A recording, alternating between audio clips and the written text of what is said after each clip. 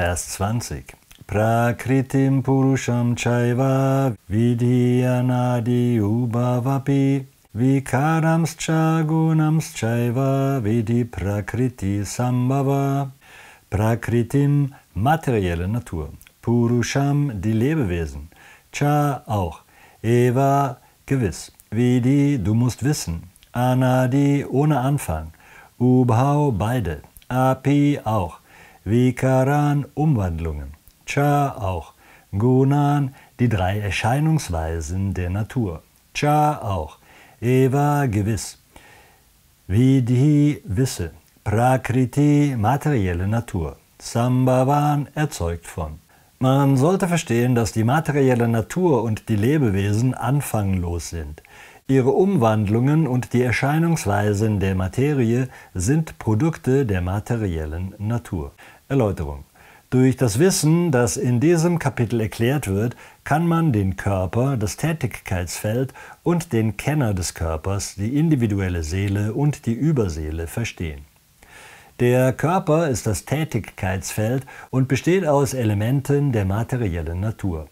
Die individuelle Seele, die sich im Körper befindet und die Tätigkeiten des Körpers genießt, ist der Purusha, das Lebewesen. Die individuelle Seele ist der eine Kenner des Körpers und der andere ist die Überseele.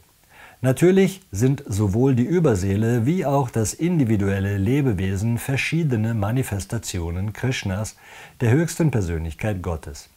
Das Lebewesen gehört zur Kategorie seiner Energie und die Überseele gehört zur Kategorie seiner persönlichen Erweiterung. Sowohl die materielle Natur als auch das Lebewesen sind ewig. Das bedeutet, dass sie bereits vor der Schöpfung existierten. Die materielle Manifestation entsteht aus der Energie des höchsten Herrn, ebenso wie die Lebewesen. Aber die Lebewesen gehören zur höheren Energie. Sowohl die Lebewesen als auch die materielle Natur existierten schon, bevor der Kosmos manifestiert wurde. Die materielle Natur ruhte in der höchsten Persönlichkeit Gottes, Mahavishnu, und als es notwendig war, wurde sie durch das Mahat Tattva manifestiert. Ebenso befinden sich auch die Lebewesen in ihm, und weil sie bedingt sind, weigern sie sich, dem höchsten Herrn zu dienen. Daher ist es ihnen nicht gestattet, in den spirituellen Himmel einzutreten. Aber wenn die materielle Natur wieder ins Dasein tritt, bekommen diese Lebewesen erneut die Möglichkeit, in der materiellen Welt zu handeln und sich darauf vorzubereiten, in die spirituelle Welt zurückzukehren. Das ist das Mysterium der materiellen Schöpfung.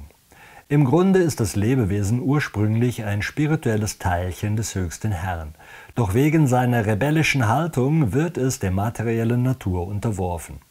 Die Frage, wie diese Lebewesen als Teile der höheren Natur des Herrn mit der materiellen Natur in Verbindung kamen, ist nicht wichtig. Die höchste Persönlichkeit Gottes jedoch weiß, wie und warum dies genau geschah. In den Schriften sagt der Herr, dass diejenigen, die sich zur materiellen Natur hingezogen fühlen, einen harten Kampf ums Dasein führen müssen. Aber im Licht der Beschreibung dieser Verse sollte man ohne Zweifel erkennen, dass alle Wandlungen und Einflüsse der materiellen Natur, die durch die drei Erscheinungsweisen hervorgerufen werden, ebenfalls Produkte der materiellen Natur sind. Alle Wandlungen und alle Unterschiede der Lebewesen beziehen sich auf den Körper. Was die spirituelle Natur betrifft, so sind die Lebewesen alle gleich.